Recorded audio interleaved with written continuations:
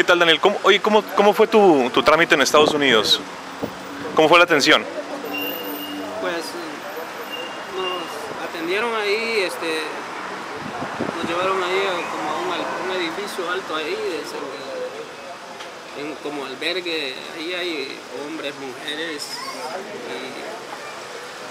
eh, de otros países como eh, europeos parece que son, pero en ese momento yo solo yo de hondureño y otro muchacho, otros hermanos de El Salvador éramos los que estábamos tramitando el asilo.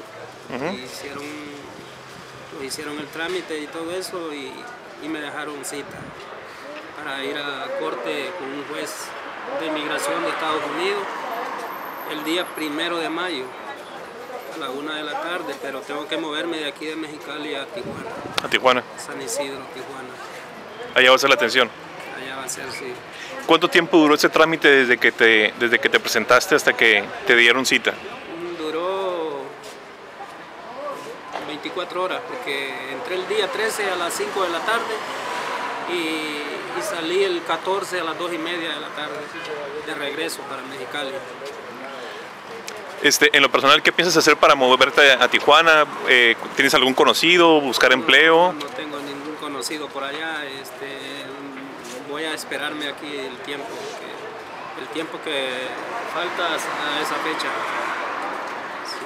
Sí. Y ese día te vas a mover para San Isidro. Me voy a mover, sí, un día antes, un día quizás último, me mueva para Tijuana. Sí. Mientras tanto vas a estar aquí en el... En el... Mientras tanto voy a estar aquí en el albergue. Sí.